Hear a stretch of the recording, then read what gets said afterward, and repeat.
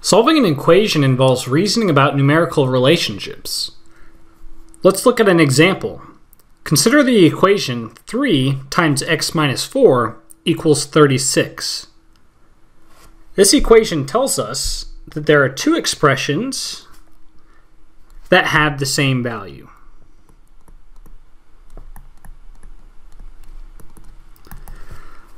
So the expression 3 times x minus 4 has the same value as 36.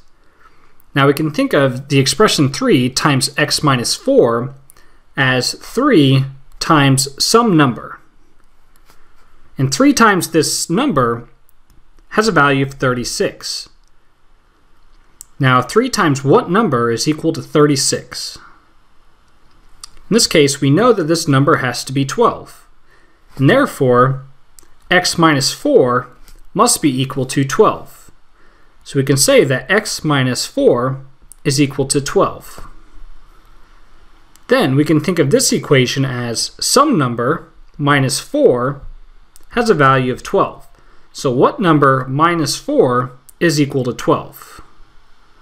In this case, we know that this number has to be 16, in which case x must be equal to 16. Now let's check our work to make sure that x equals 16 is a solution to our equation. So our original equation was 3 times x minus 4 equals 36. If we plug in x equals 16 into this equation, we hope that this has a value of 36. So 16 minus 4 is equal to 12.